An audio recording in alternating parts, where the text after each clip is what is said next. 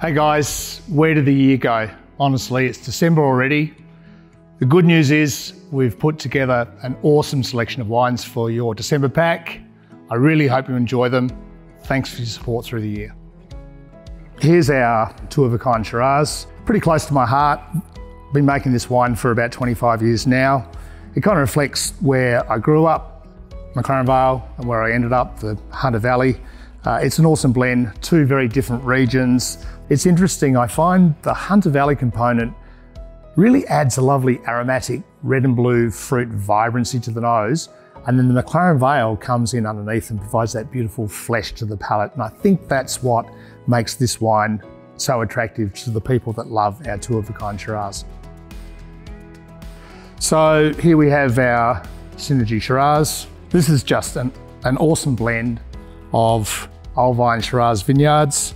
Of course, there's always a few declassified barrels from our single vineyard parcels.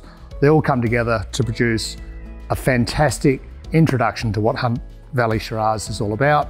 Medium bodied, savoury texture, absolutely delicious. I challenge you to find a better value for money Shiraz anywhere in the Hunter Valley, let alone Australia. This one's a beauty.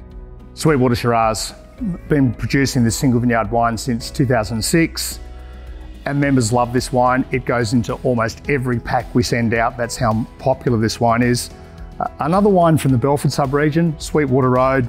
Those beautiful red lime soils, the limestone underneath give the wines from up that way. They're very distinctive floral complexities amongst those red and blue fruits. Lovely grainy tannins and you know this wine you can take home and drink tonight, uh, but it's also a belter for the cellar. It's your choice. Enjoy.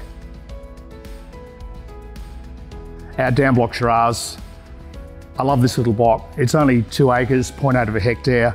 It's actually just across the ridge line, across the dam from the old vines that we produce our famous Kiss Shiraz from. Similar fruit characters, red and blues. It's got that lovely piercing, savoury texture, those lovely al dente uh, tannins.